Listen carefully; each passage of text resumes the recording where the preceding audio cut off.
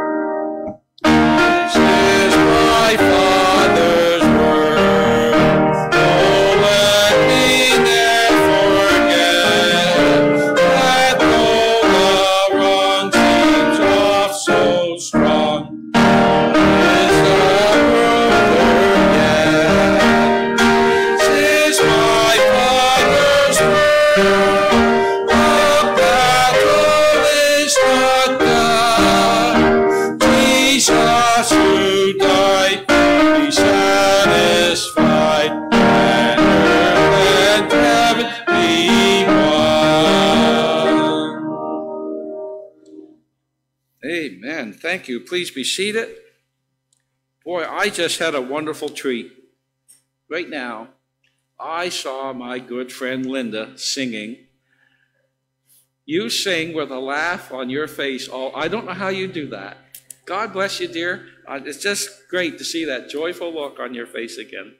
We have another hymn, hymn number 151, A Mighty Fortress is Our God.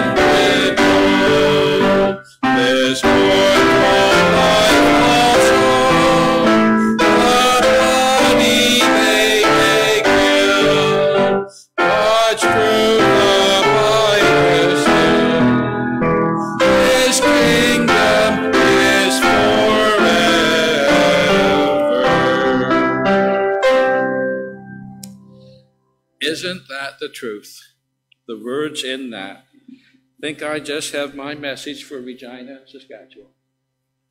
Pastor?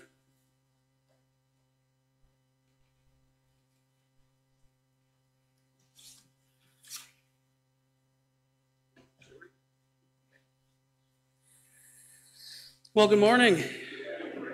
Happy Father's Day to all you dads out there and granddads and it's a good day to be here to celebrate our fathers and our Heavenly Father. As Malcolm said, we have much to pray about, so let's go to the throne of grace, shall we? Father in heaven, again, we just thank you for who you are. And Lord, we thank you that we could come before your throne of grace this morning. Um, you tell us in your word that we can come with boldness, with confidence. Um, we don't have to come uh, in a fearful manner, uh, but we come because we know that you are our Father and you want to hear from us. So this morning we come just thanking you for who you are. And Lord, as we have been looking in our Wednesday nights at the attributes of God, and we pretty well finish each lesson with how should we apply this? We should apply these things by thanking God for them. So we thank you that you are a God of love. We thank you that you are a God of forgiveness and a God of grace and a God of mercy. We also thank you that you are a holy God and you are a just God. And as we looked last week, we thank you that you are a good God. We sing that chorus, God is so good. And we sing it because that is so true. Um, you have been good to us. You allowed us to be here this morning. Um, you woke us up this morning. You put food in our stomach, clothes on our back. You gave us a place where we could come and freely worship you together. And Lord, we just thank you for your goodness towards us. And this is just the beginning of the day. You have more blessings in store for us, I'm sure. Lord, I thank you for our fathers, for our dads, for our granddads, um, for those who are spiritual dads. Um, we are here today to, to celebrate them and to celebrate you. And this morning we will look at the example of a perfect father and how we can take some of those examples and apply them to our own lives as fathers. Uh, we thank you for all of our fathers. We thank you for our biological fathers. We thank you for those who have made the choice to be adoptive fathers and stepfathers, and Lord, um, grandfathers, and again, as I said, spiritual fathers. So we thank you for each one of these men that are here, um, those that are online, and those that couldn't be with us. Uh, we just ask a special blessing on them um, this morning, Father. And we do come before you. Um, we have our prayer focus, Lord, and there's many people on this list. Um, Lord, we praise you that uh, Louis is, is home doing better and is walking around and such, so continue to touch his body, Father. Um, we praise you that my dad is feeling good and is recovering from his surgery as well. Um, Lord, we just thank you and he had a doctor's appointment the other day, and we were just amazing how good you are. Um, as of right now, he doesn't even have to take insulin anymore. Um, so we thank you for that, Father. And um, so many other praise items of people who were sick and recovered, people who had surgeries and are recovering. Um, we just bring them before your throne of grace again this morning. And Lord, we continue to pray for Glenn, um, continue to, to, to watch over him and put your hand on him, Father. Uh, we pray for his wife as well. And Lord, we also think of Colin as he's waiting for surgery still on his knee. Um, Lord, we just pray that the doctors would see how serious this is, how it's hindering him from doing what he needs to do and what he enjoys doing. Um, so just be with them and may they be able to pick a date quickly um, so he can have this done. And Lord, we also think of, of uh, Judy's friend Linda. Lord, we just pray that you would give the doctors wisdom on how they can proceed with her. Um, we just pray that all this drainage issue and everything would be settled and that she could move on from this, Father. Uh, we continue to pray for our brother Jim and his eye, Lord. Uh, we just pray that this appointment would be would be sooner than later so that they could do what needs to be done. We pray for our brother Malcolm as well as he will get results from some of the tests that he had um, this coming week, Father. Um, we just pray that, that they'll be able to figure out what's going on with him as well. Um, so, Father, we've just put all of these folks that are on our page, those that were mentioned, those that weren't mentioned, we just bring them before your throne of grace. And Lord, we know that you will answer in a way which is best for each one and in a way that will bring you honor and glory. We do think of our, our friends and family at the Drew. Um, Lord, it was so nice getting back and to visit with them again. Um, Lord, we just pray that you would encourage them, that you would keep them strong and healthy, Father, um, that there'd be no more illnesses going through our nursing homes here in our area, Father. Um, so just protect these dear folks. And Lord, uh, watch over those that, that visit, watch over those that look after them. We are so thankful for the care that is given to all of our seniors, Lord. So we just, again, just thank you and praise you for allowing us to be here. We thank you that we have your word in our hand that we can open freely and read and study. So we just ask that your Holy Spirit would guide us and direct us in everything this morning, and you would receive the honor and the glory. For this is what we ask in Jesus' name. Amen. If you have your Bibles, turn with me to our scripture reading this morning as we continue through the book of Revelation. And we are going to read Revelation chapter 17 this morning. Revelation chapter 17. And I would encourage you, if you are able, to stand as we read this portion of Scripture together. So, Revelation chapter 17, starting at verse 1. It says, And there came one of the seven angels which had the seven vials, and talked with me, saying unto me, Come hither. I will show unto thee, unto thee the judgment of the great whore that sitteth upon many waters, and whom the kings of the earth have committed fornication, and the inhabitants of the earth have been made drunk with the wine of her fornication.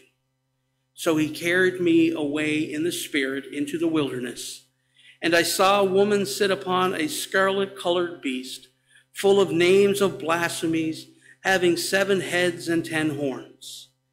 And the woman was arrayed in purple and scarlet color, and decked with gold and precious stones and pearls, having a golden cup in her hand full of abominations and filthiness of her fornication. And upon her forehead was a name written, Mystery, Babylon the Great, the mother of harlots and abominations of the earth. And I saw the woman drunken with the blood of the saints and with the blood of the martyrs of Jesus. And when I saw her, I wondered with great admiration. And the angel said unto me, Wherefore dost thou marvel? I will tell thee the mysteries of the woman and of the beast that carrieth her, which have the seven heads and ten horns. The beast that thou sawest was and is not, and shall ascend out of the bottomless pit and go into perdition and they that dwell on the earth shall wonder, whose name were not written in the book of life from the foundation of the world. When they behold the beast that was, and is not, and yet is. And here is the mind which hath wisdom. The seven heads are seven mountains on which the woman sitteth. And there are seven kings.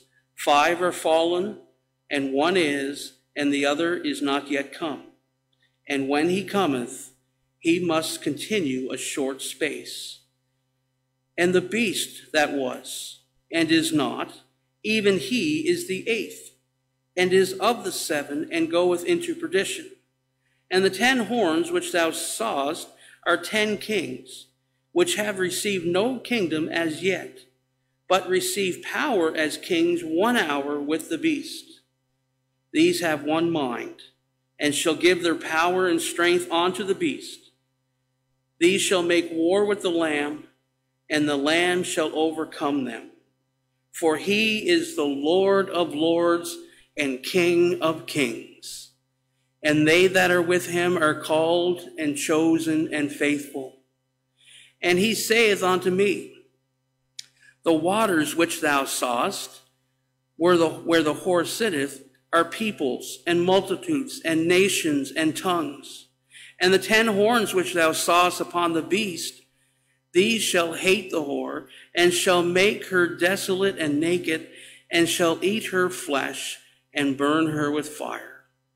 For God hath put in their heart to fulfill his will, and to agree, and give their kingdom unto the beast, until the words of God shall be fulfilled. And the woman which thou sawest is that great city, which reigneth over the kings of the earth. This is the word of God. Let's take a few moments and just greet the family. If you would like to go around, you can. If you see someone that doesn't want their hand shaken, they will stick out their elbow. So, welcome.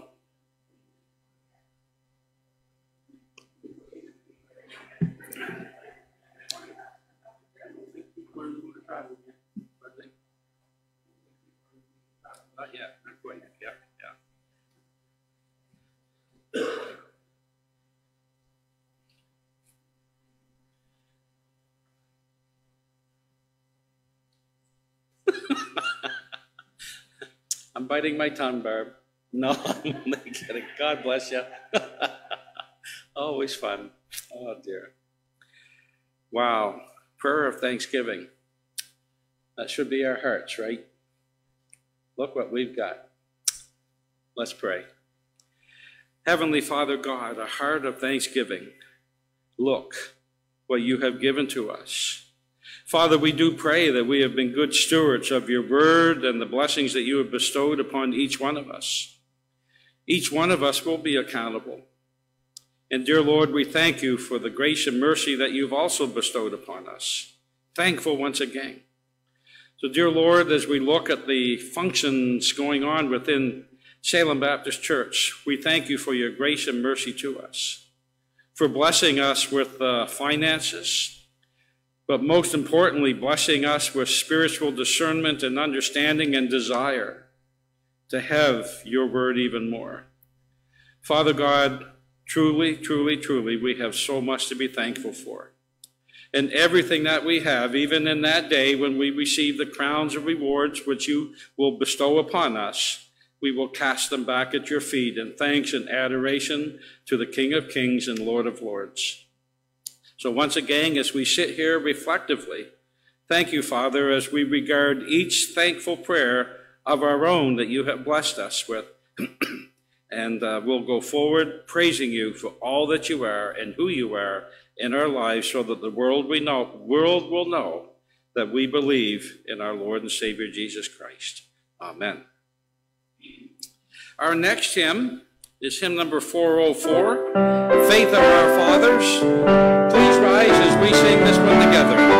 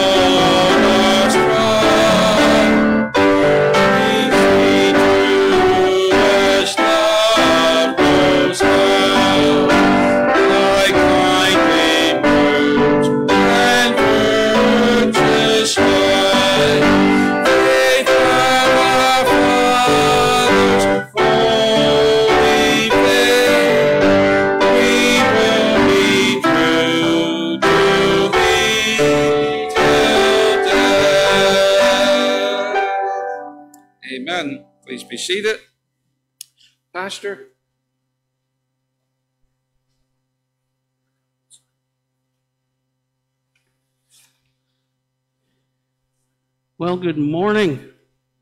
I think I already said that, but good morning again. it's good to have you all with us this morning. And for those that might not have heard, happy Father's Day. And we're looking at, if you look in your bulletins, um, punctuation makes all the difference, doesn't it? We're looking at the perfect Father, Paul Bedford, it says Um, there should be like a dash that Pastor Paul Bedford means like I'm the speaker for today, right? But if you want to call me the perfect father, that's great too. Um, my kids might differ with you. And uh, my father in law said that the title should be changed to the perfect father and have his name put in there. And uh, Betty Lynn is the proof of that. So he says. So it's good to have you all here. Aren't you thankful for your fathers? I am thankful for all the fathers and father figures that uh, have been in my life over the years. Um, I'm thankful for my father, of course, and uh, he was a godly example and still is a godly example uh, to all of our family over the years. And especially this last year, um, he is still given us the example of a, a, man of God in, in suffering and in trials and stuff like that. Um, so I thank God for my father. Uh, my father in law, I thank God for him. He is another man who is an example of, of godliness, an example of patience at times, and uh, an example of love and encouragement to all of his family and those of us who have become part of his family over the years. Um, so I am thankful for him as well. Um, there's a gentleman back in Sydney who is almost like my second father, uh, Jean Levesque. And uh, I think I spent more time at his house than I did at my own house when I was growing up. Uh, my best friend Jake, um, we would be over there all the time, and his father was the Cub Scout leader, so I became a Cub Scout and went everywhere with them and planted trees and all that sort of stuff. Um, this is a man that um, that has really impacted my life over the years. And when we go to Cape Breton, we still go in and visit him and uh, his wife. His wife passed away um, last year, um, so we're hoping to get back this summer and go visit him. So, um, so these are just some men that have impacted me over the years, and we could probably take time and share stories from everybody you know how this dad or someone else's dad has has impacted your life in a way, and I could go on and on. Um, you know, I'm thankful for biological fathers, but also for foster fathers and adoptive fathers. Um, one man and woman from the first church we pastored, um, Paul Foote Sr., um, he raised, they raised their family, their kids were adults, they had their grandkids and everything else, but they still had this heart for, for children that needed parents. So they became foster parents. And over the years, they took in three girls, um, different ages, and they just fell in love with them and then adopted them, right? So they chose these kids in their 60s and 70s, not the kids, they were the 60s and 70s, and they're starting all over more or less. Um, there was a little girl that they adopted, a newborn. Can you imagine? in your 60s, they became a foster parent of this little girl because her mom had issues and stuff. And they fell in love with her and adopted her. And she just celebrated, I think it was her 16th birthday, right? And uh, it's just amazing that they just opened their hearts and opened their homes. Uh, some of you have met them. Uh, shortly after we moved here, um, they came during an evening service. Um, Paul and Sandy Foot, he had a big old white beard and, and everything else, but that was four years ago. Uh, nobody remembers that, right? So just thankful people like that. And, and then Timothy, you know, uh, Timothy um, just thrills my heart as he's a stepdad. And we hate that word step, right? Um, because he's a dad. And uh, he just loves Hunter to death. And there are a ton of stepdads out there that do the same thing. And again, these guys are special because they chose to be part of these children's lives, right? So it's just amazing. And I thank God for Timothy's choice and God leading him and Jamie together.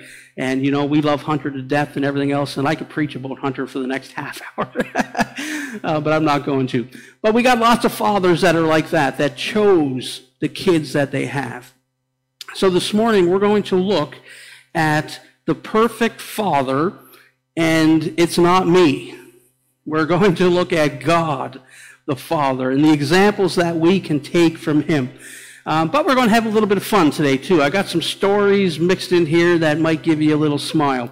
And the first one is this You, said the doctor to his patients, you are in terrible shape. And unless something is done quickly, you're going to die. That's good news to get from your doctor, isn't it? You're under too much stress and you're not eating right. Tell your wife that she must start cooking more nutritious meals. And to help reduce the stress, have her keep the kids off your back so you can relax.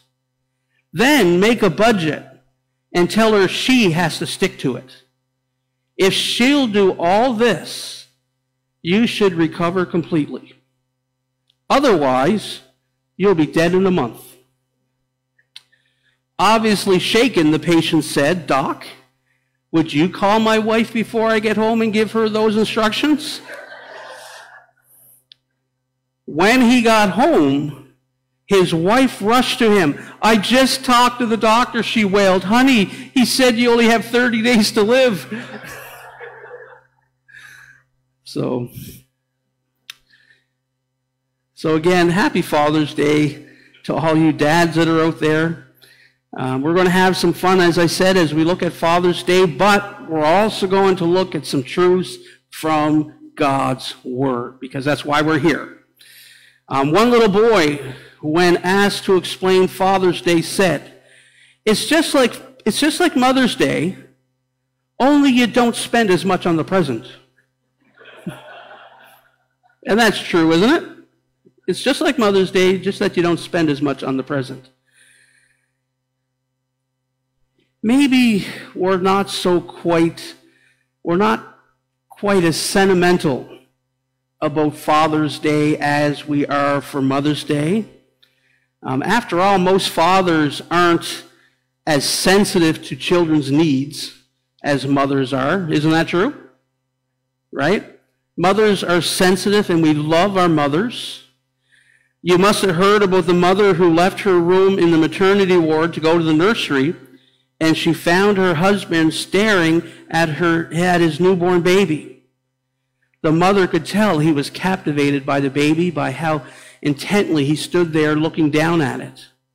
She was so touched that finally she tiptoed up behind him, slipped her arm through his and said, "Honey, what are you thinking?" He said, "I just can't understand how they were able to make a crib like that for only $89.95."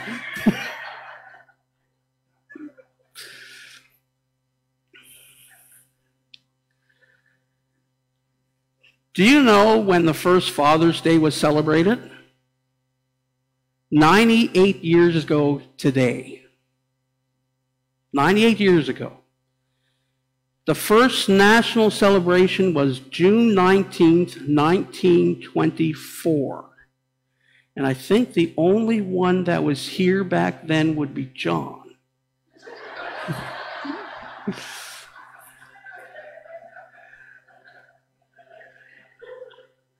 But June 19, 1924, by proclamation of President Calvin Coolidge, but it was all because of one lady. Her name was Sonora Smart Dodd.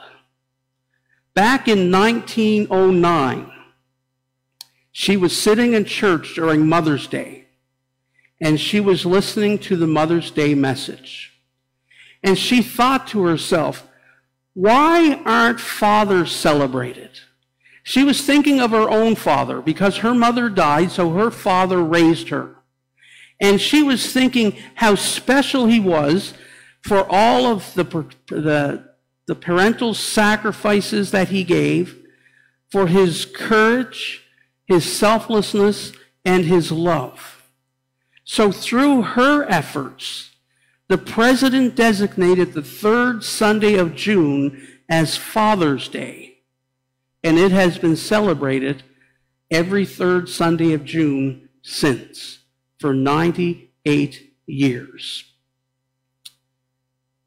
Father's Day gives us a chance to honor those who stand at the helm and lead their families through life's battles. Right? That's what fathers do. They stand at the helm and they lead their families through life's battles. I think we all probably heard of James Dobson, Dr. Dobson. He wrote a book called Dare to Discipline. And he suggests three specific things for a father to keep in mind. And the first was the earliest years time with mom. He said, Years bring change, and often fathers become the example in attitude and action that their children follow when it comes to God, church, and spiritual things. Fathers are followed. This is not something that we can just turn over to anyone. I once read an article and was saying how children really don't follow our advice as fathers. Most of the time, they follow our example. So if our advice is, and you see this happening all the time, and sitcoms today make fun of this all the time. You have, you know, the father with the beer in his hand and the cigarette hanging out of his mouth, and he's telling his kids, if I ever, use, ever see you drink or smoke, that'll be the end of you. Right? And quite often, they don't follow the father's advice, they follow the father's actions. So, men, we need to be very careful. Yes, give wise, sound, biblical advice, but be careful how we live because our children are going to follow our example. Um, grandparents, our grandchildren are going to follow the examples that are given to them. So we need to be careful. Secondly, he says, the second thing he suggests is that the best thing a father can do for his children is to love their mother. That's true, isn't it? The best thing that we can do for our children is to love their mom. And we're commanded in the scriptures to do that, are we not? Do you think back to the book of Ephesians? Paul tells the Ephesian husbands, and therefore us, to love our wives. Ephesians chapter 5, 25, he tells us to love our wives just as Christ loved the church and gave himself up for her. So, husbands, we are to love our wives. And that's the best example that we can give to our children, that they see that dad loves mom. And James Dobson says, thirdly, a Christian father will arrange to spend time with his children. Spend time with his children. And sometimes that's difficult, isn't it? Because dads, you know, they work, and even today, moms work and stuff. But dad seems to be out of the house more than mom. But we need to make time to be with our children, even when they're grown up. I believe we should still make time for our children. And I believe every father here, if your kids called you at midnight and said, Hey, I need you, we would be there for them. I know if Tim or Jamie called us at midnight some night, we would be in Moncton within a half hour. Right? We need to make time for our children.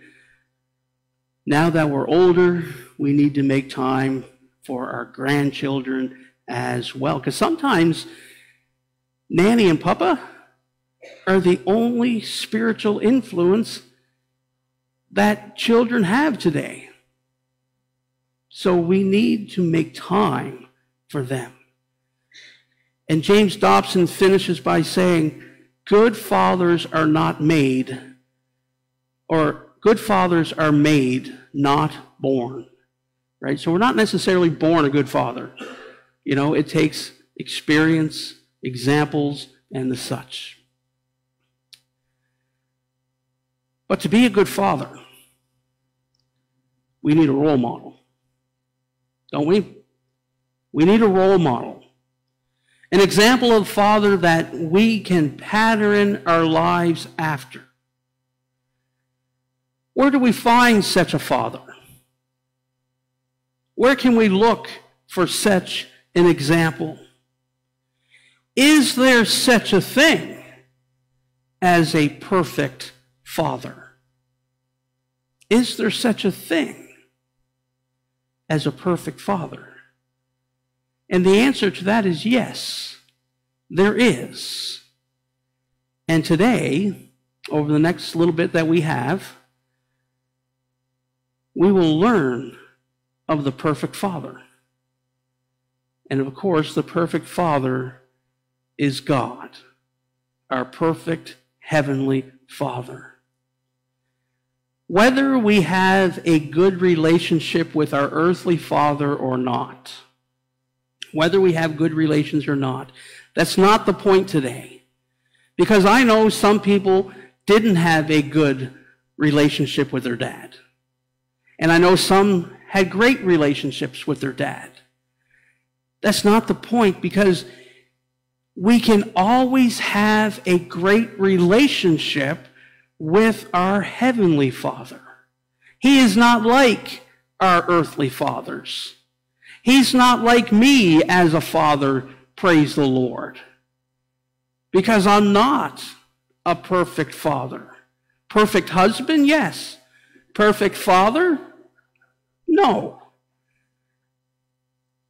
None of us are perfect.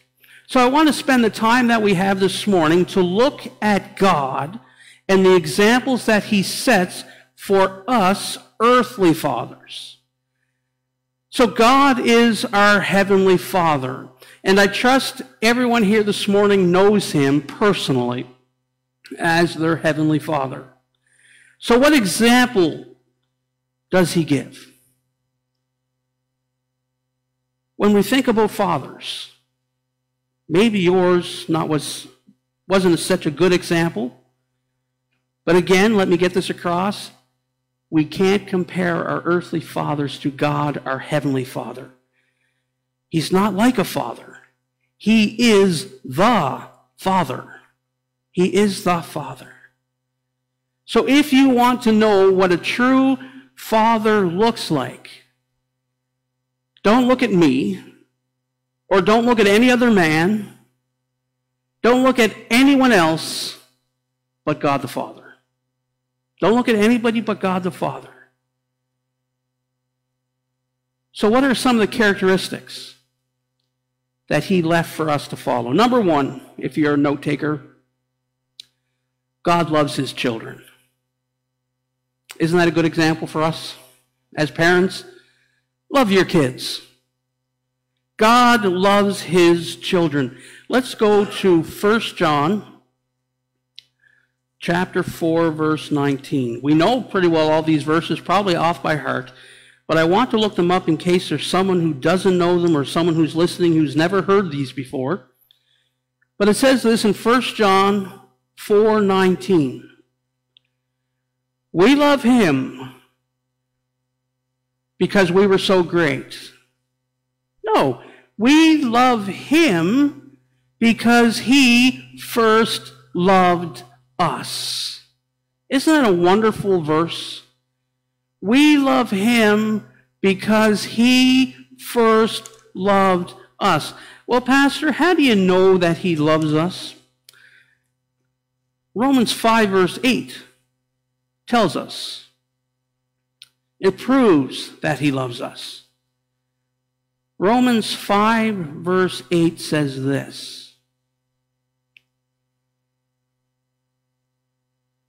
But God commendeth his love toward us, in that while we were yet sinners, Christ died for us.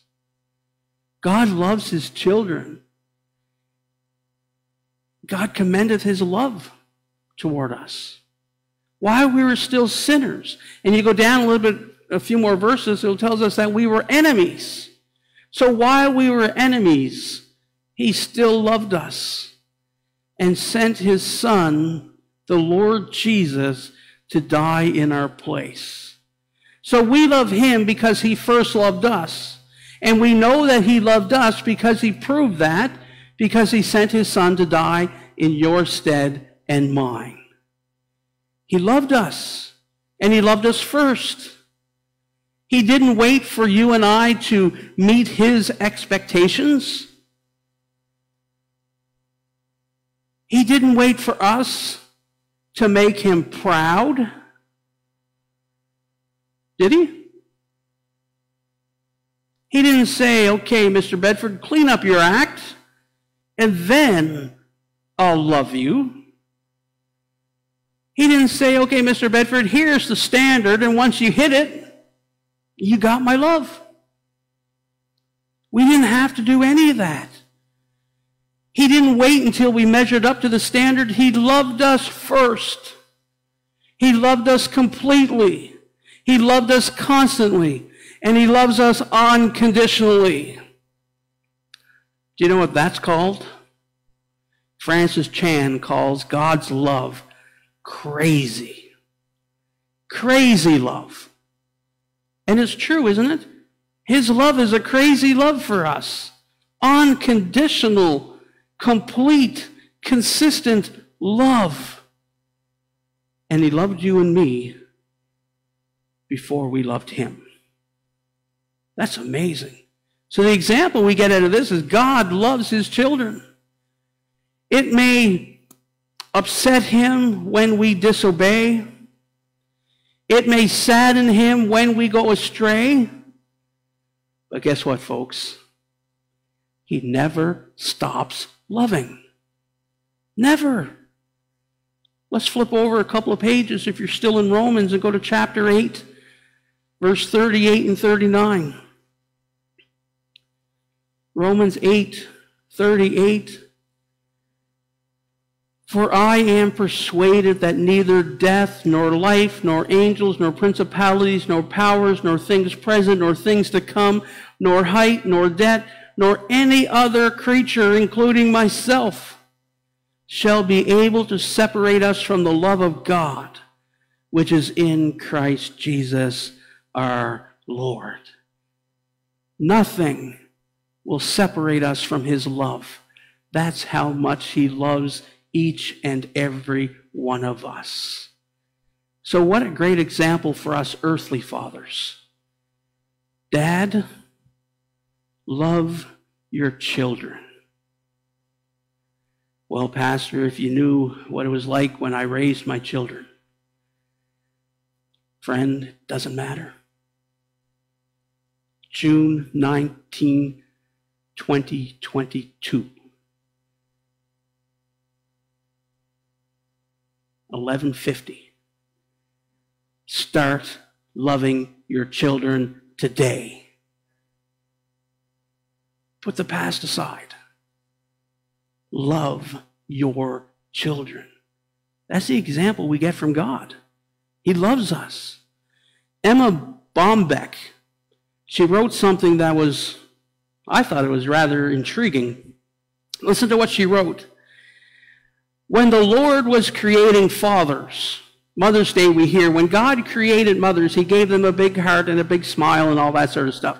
But what did he do when he created fathers? Listen to this. He started with a tall frame. They must have ran out of tall frames when he created me. But he started with a tall frame. And an angel standing nearby said, What kind of father is that? If they're going to, to make children so close to the ground, why have you put a father up so high? He won't be able to shoot marbles without kneeling. He won't be able to tuck a child in without bending. He won't be able to kiss a child without stooping. God smiled and said, Yes, But if I make him child size, who will the children have to look up to? And when God made the Father's hands, they were large. The angel shook his head and said, I don't think you want to make hands like that. Large hands are clumsy. They can't manage diaper pins, small buttons, rubber bands on ponytails, or even remove splinters caused by baseball bats. God smiled again and said, I know, but they're large enough to hold everything a small boy empties from his pockets at the end of the day, yet small enough to cup a child's face into his hands. Then God molded long, slim legs and broad shoulders. The angel nearly had a heart attack. Boy, this is the end of the week, all right. How's he going to pull a child close to him without the child falling between his legs? God smiled and said, A mother needs a lap, but a father needs strong shoulders to pull a sled, balance a boy on a bicycle, or hold a sleepy head on the way home from the circus. God was in the middle of creating two of the largest feet anyone has ever seen when the angel could not contain himself any longer.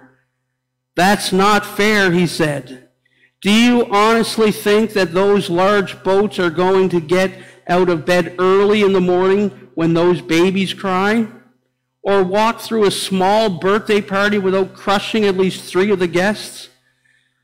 Again, God smiled and said, They'll work, you'll see.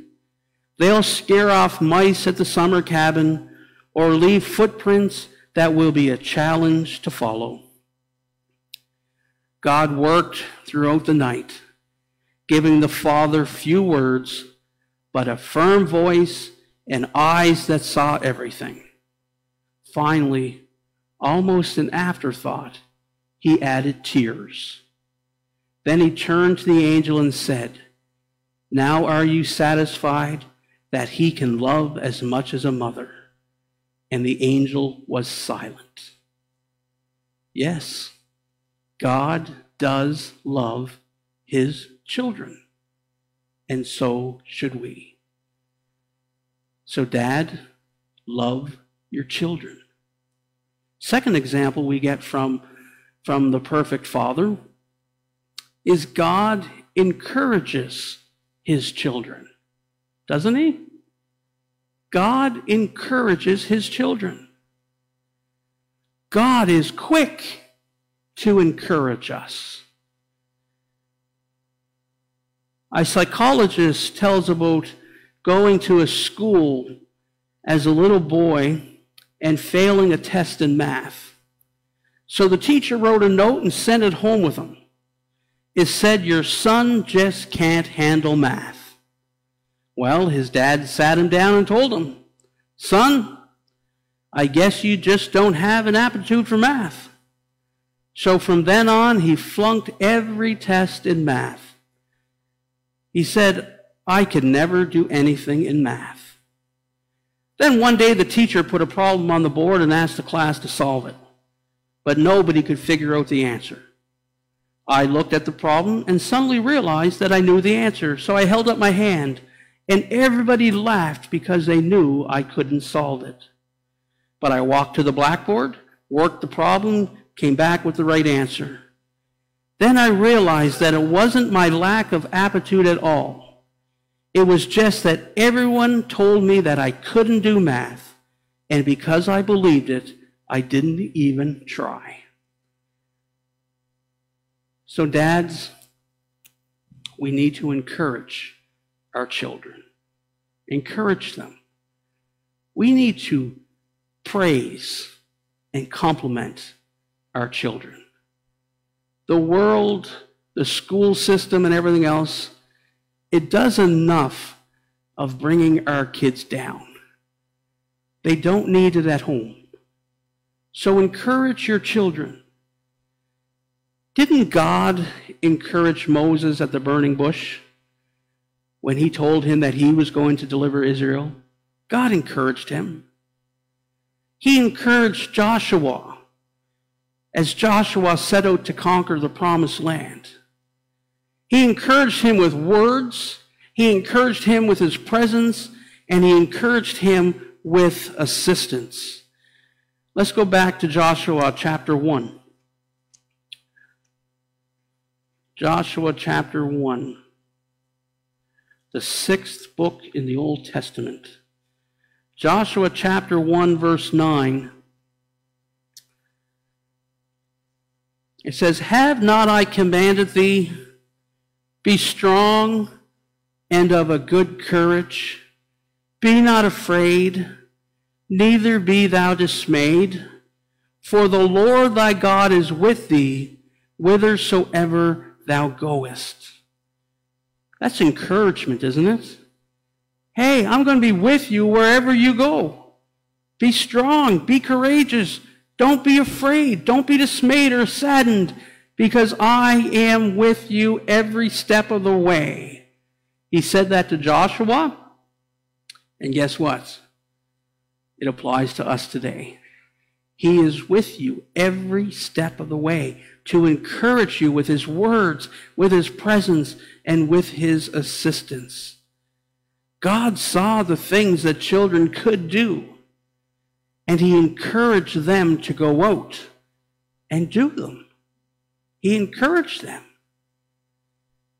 Sadly, many parents today, as I said, are prone to send messages laced with criticism instead of encouragement. Encourage your children. It's so important to watch our words, is it not? It's really important. And the apostle Paul challenged us in that. In Ephesians 4:29 he says, "Let no corrupt communication proceed out of your mouth, but that which is good to the use of edifying, that it may minister grace unto the hearers." So let no corrupt communication come out of your mouth, but let words of encouragement, words that will build up your children and not tear them down. That's the words we need to use. And we need to use those same words with everybody. Words that will build them up and encourage them, that it may minister grace onto the hearers. So God loves his children. We can do that? Yes. God encourages his children. We can do that? Let's look at one more. This is one today that the world doesn't like. God disciplines his children. He disciplines his children. Recently, I read a story about triplets. I couldn't ever imagine having triplets. Three young boys who got along well. They saw everything alike. They were loyal to each other. If one got into trouble, they wouldn't tattle on each other. A neighbor asked the father, how in the world do you know which one to punish if there's trouble? He said, Oh, that's easy. I send all three to bed without supper, and the next morning I spank the one with a black eye.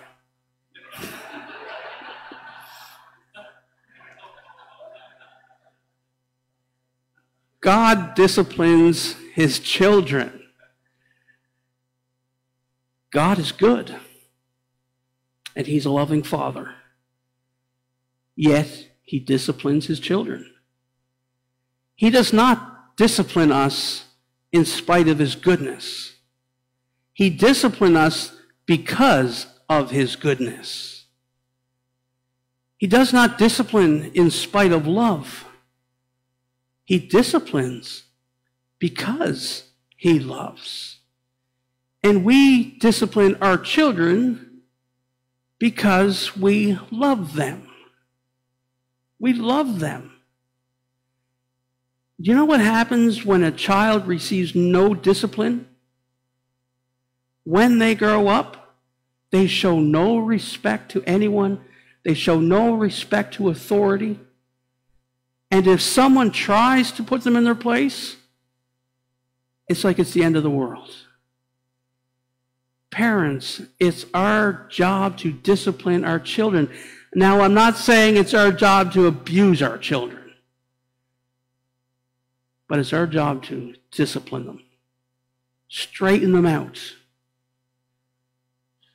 Don't tell anybody. But I spanked our kids when they grew up.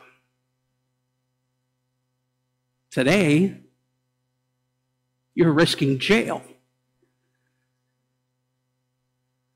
And believe it or not, I spanked Timothy more than Brittany.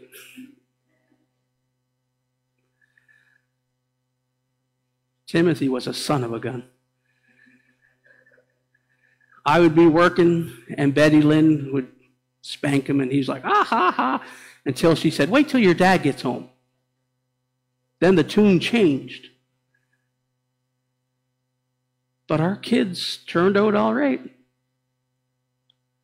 Our kids respect authority. God disciplines his children. We need to discipline ours as well. I don't tell many stories of Brittany, so I can share one. She may be listening today. I remember the first time I took her to the mall. First time she was in a mall with me. And she was probably two. So we're going down the aisles, and she's like, I want that, I want that, I want that. I'm like, no. So she started bawling and yelling and screaming. People must have thought that I was killing her. But all I said was no. And I said, if you keep that up, you're going to have something to cry about. Never thought I'd say those words because my parents always said it to us, and I'm like, I don't understand why they're saying that. But they came out of my mouth that day. And she kept on. So I took her down a side aisle and I gave her a little spanking. And she's never done that again. I don't know if I ever took her to the mall again, but she's never done that again. but we need to discipline our children, not because we get a thrill out of whacking them or doing whatever. It's because we love them. We love them. If our children were going to put their hand on the stove and we tell them, don't do that, why do we do that? Because we love them and we don't want them to get hurt. And then they go the second, don't do that. And then they don't listen to you and they put their hand on it. We told you, don't do that because we knew what the consequences were. Folks, we need to discipline our children. Deuteronomy 5 or 8 5 says, Thou shalt also consider in thy heart that as a man chasteneth his son, or disciplines his son, so the Lord thy God chasteneth thee. And Proverbs 3:12 says, For when or whom the Lord loveth, he correcteth, even as a father the son in whom he delighteth. So God is good. He's a loving father that disciplines his children when they need it. The faithful or the father who disciplines his children wisely is reflecting the character of God. We discipline wisely. Hebrews chapter 12, and we will eventually get there. Most of that chapter is talking about the discipline of God. And Hebrews chapter 12, verse 10 and 11 says, For they verily for a few days chastened us after their own pleasure, but he for our profit, that we might be partakers of holiness. Now no chastening for the present seemeth to be joyous, but grievous.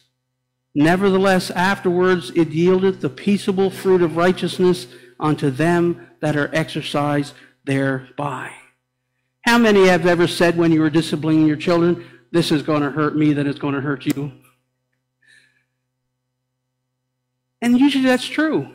We don't want to discipline our children. But as a loving parent, we have to. Because we love them and want them to go the way that God wants them to go. Because it says here, nevertheless, afterward it yieldeth the peaceable fruit of righteousness unto them which are exercised thereby. So God loves us, He encourages us, and He disciplines us. So, what is our responsibility? It's our responsibility to bring our children up, our grandchildren up, in the training and instruction of the Lord. That's our responsibility, is to bring our children up in the things of the Lord. Our teaching should begin when they're young, right? But sometimes that didn't happen. So we can today start sharing God with our children if we haven't in the past. As long as they have breath, it's not too late. So we can start telling and instructing our children, even if they're adults, in the things of the Lord. And as grandparents, we need to instruct our grandchildren in the things of the Lord. That's very important. Psalm 78, Deuteronomy chapter 6, and so many other Bible passages tell us that we need to be teaching our children when we're sitting down, when we're standing up, when we walk, when we lie down, when we what we need to do is pass it on from one generation to the next. I praise God that I'm a third generation Christian. My grandfather was saved, my dad is saved, and I'm saved. And Timothy's a fourth generation Christian. And we want to see his kids and Brittany's kids know the Lord. So, as parents and grandparents, we need to instruct them as they go along their day. We can do that in a right way, or we can do that in a wrong way. We can create misconceptions about God, can't we? And people do. Let me finish with a little parable about three fathers who each felt the soft hand of his child in theirs, and they realized their responsibility of teaching their children about God. The first father, he felt the awesome responsibility that was his. So he taught his child about the power and might of God. As they walked down the pathway of life and came to tall trees in the forest, this father would point to them and he said, God made them, and he can cause them to come crushing down any time that he wants to. And as they walked a little further, he seen the sun, the hot sun, and he said, This is God's sun. He made it, and he can cause it to be so hot and so intense that the plants in the field will wither and die. So he was teaching his children about the power and might of God. Again and again, he hammered home the power of God and how his child must be obedient to God. Then one day they came face to face with God. And the child hid behind his father, afraid even to look refusing to put his hand into the hand of God. His father only talked about the power and might of God and how God could crush anything anytime he wanted. He became very afraid of God. The second father also realized his responsibility to teach his child about God. Hurriedly, he tried to teach all the important lessons he knew. As they looked at the trees they only stopped for a moment to gaze at them. As they looked at the flowers of the field, they hurried on by. He told stories, but they were hurried and crammed together. He filled the child full of facts, but he never taught him how to live or to love God. Finally, one day, at twilight, they came face to face with God. But the child only gave God a casual glance, and then he turned away. The third father felt the touch of the tender hand in his, adjusted his steps to the tiny steps of the child. They walked along, stopping to look at all of God's beauty and grandeur. They walked in the fields and picked the flowers. They felt the delicate petals and smelt their fragrance. They watched a bird in flight and another building her nest and laying her eggs and sitting on them until they hatched. They watched all the beauties of nature while the father told his child stories of God over and over again. Finally, one day in the twilight, they saw the face of God. And with without hesitation, the child placed his hand trustingly in the hand of his heavenly Father. So we need to be careful how we instruct our children in the things of God. God loves his children. He encourages his children. He disciplines his children. It is up to us as fathers on this Father's Day to follow the examples of our perfect Father. And folks, it's never too late to start. It's never too late to start. Father, we thank you that you are the perfect Father. And you have given us many examples that we need to follow as earthly fathers. We thank you today that you are God who loves us. And you prove that love by sending your only begotten Son into this world to live here, to die here, to pay the penalty for our sin. And you tell us whoever will trust or believe in the Lord Jesus Christ will be saved. I pray today if there's anyone here listening who has not put their faith and trust in you, that today they realize that God loves them, that you love them before they would even think of loving you, and that they would cry out today for this wonderful gift of salvation. Father, we thank you that you are a God who encourages us. I don't know where we would be without the encouragement that you give us. Help us to do that to others, to encourage others, to build each other up and not tear each other down with our comments and criticisms. And thank you for disciplining us when we need it. Lord, we know that we are your children when you discipline us. And we thank you for that. And help us as fathers, as mothers, to discipline our children when need be because they need it. And we do it because we love them. So, Father, our responsibility, as we just looked at, is to instruct our children in the things of God and tell them all about you. Help us to do that. Even if it means we start doing that today as our children are older.